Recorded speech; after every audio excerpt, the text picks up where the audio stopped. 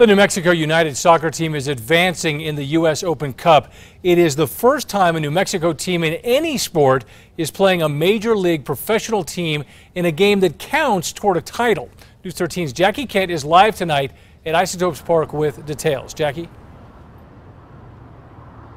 Dean, while the team won't be playing that game here, the New Mexico United CEO and superfans alike have big hopes for the rest of the team's inaugural season. Last night's win for New Mexico United against Colorado Springs.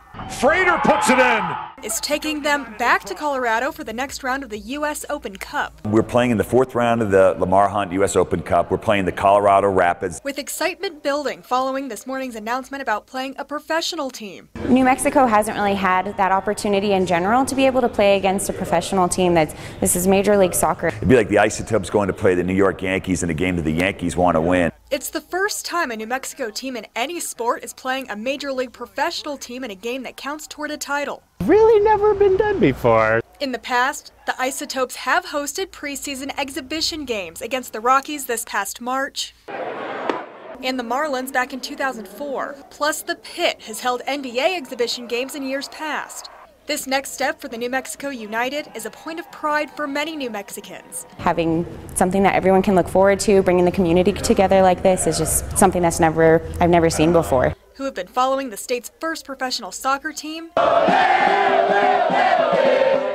its inaugural season. I think we're going to win. That's what's freaking exciting. With people anxious for the day when United will host a major league professional team in Albuquerque. It's a little bit of a shame that we're going to, you know, be traveling, but our job is to, if we keep winning, um, eventually we'll have a, uh, a place to host a home game, and I hope we get to host a home game in the Open Cup. It'd be incredible. The team does have some ties to the Rapids organization. Two defenders and a goalkeeper from the New Mexico United either had contracts or are on trial with the Colorado Rapids in recent years. Also, a New Mexico United coach has worked with about a dozen current Rapids players from his time working with their affiliate team in Charlotte. Dean, back to you. All right, Jackie, good stuff. Well, that game will happen June 12th at 7 p.m. at Dick's Sporting Goods Park in Commerce City, Colorado.